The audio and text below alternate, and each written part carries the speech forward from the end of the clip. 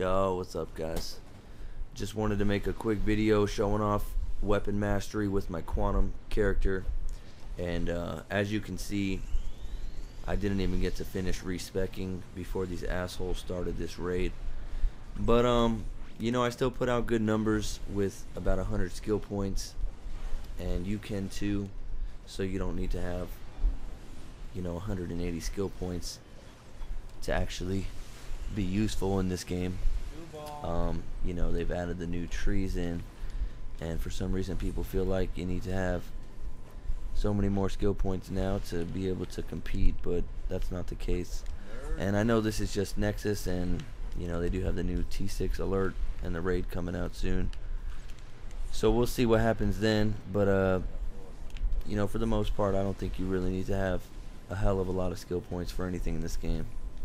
So, you know, enjoy the video. Let me know what you guys think of Weapon Mastery. I'm still using the same loadout that I have before this DLC and the same gear. I don't have any T6 gear. I'm not even fully modded. So, this should give you a pretty good idea of what kind of shit you can do with, with uh, you know, shitty gear and skill points in this game.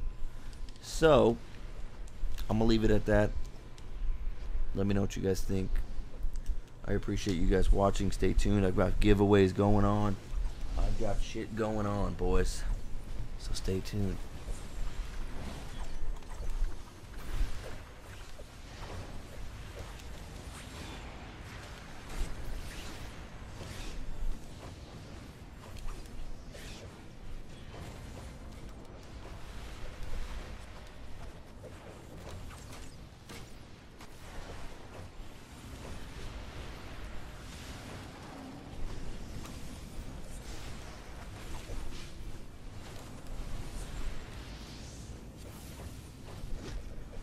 Easy work.